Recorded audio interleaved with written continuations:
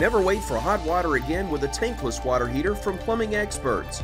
Tankless water heaters are easy, convenient, and now more affordable with a no interest financing for up to 18 months. Stop with the cold showers and wasted water and call Plumbing Experts today.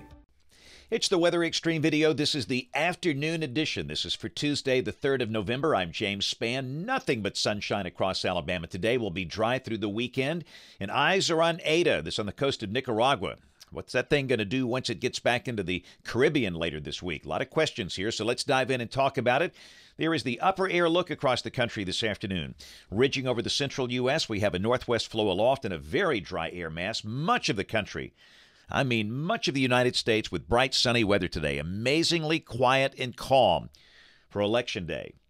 Temperatures are mostly in the 60s. Birmingham at 68. Tonight will not be as cold as last night.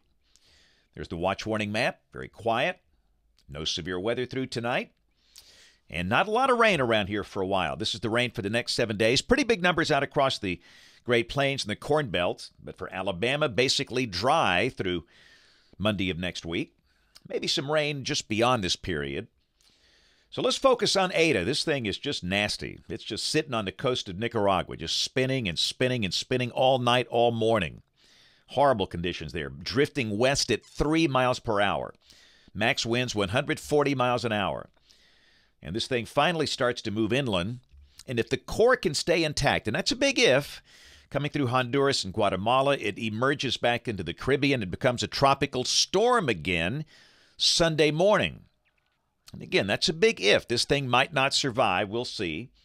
This is the tropical model set, and you can see that uh, most of them bring it across Cuba.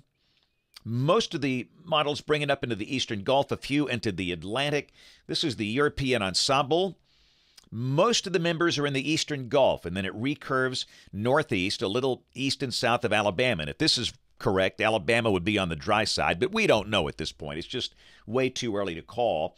And here's the intensity guidance, and really most models keep this core intact for the next five days. Let's look at the GFS, the 12Z run, valid tomorrow at 4. Ridging building, beautiful day, sunny with low 70s. Thursday, sunny with low 70s. This is Friday, we'll be in the mid 70s. We'll call it partly sunny. Eta is approaching the Yucatan Channel.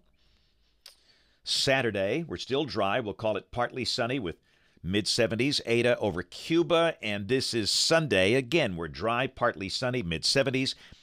And if this happens to verify, Eta would be up around Tampa Bay. But the Europeans is not so fast. It's on the northern coast of Cuba. We just don't know at this point. Monday, back to the GFS. It's got Eta in the Gulf, south of Apalachicola. Uh, this is suggesting we're still probably dry Monday, and this is a week from today, Tuesday the 10th, uh, ridging over New England, troughing over the western half of the country, and if this would be correct, uh, just a weak low, would be over the Florida panhandle, and we would have a pretty good chance of rain on Tuesday, the 10th. We'll go out 10 days. This is Friday of next week, Friday, the 13th of November. Big trough in the west, ridge in the east, and we're dry. We'll take a look at the European for Friday the 13th, and it's got what would be Eta just off the coast of South Carolina near Charleston as a weak surface low. But again, that's all speculation right now. We just we got to see if this thing even survives the journey through Central America. Rain for Birmingham off the European ensemble, the mean about an inch and a half as rain chances increase by mid-month. Highs go back in the 70s for a while. No more frost or freeze issues for a while. Lows, in fact, will be in the 60s by uh, the weekend and early next week as moisture levels rise. Here's the CPC outlook, brand new. This is November 11th through the 17th. Cold in the west and pretty mild in the east because of the high amplitude. That's it for the Weather Xtreme video this afternoon. We'll have notes on the blog. The next video here by 7 o'clock tomorrow morning. You can catch us this evening on ABC 3340 News at 4, 5, 6, and 10 o'clock. Thanks for watching. Have a great evening and God bless. There are better ways to keep cool. Call KS Services and receive a new Bryant unit with no payments and no interest for 18 months. Stay cool now and pay later. Visit callks.com for more.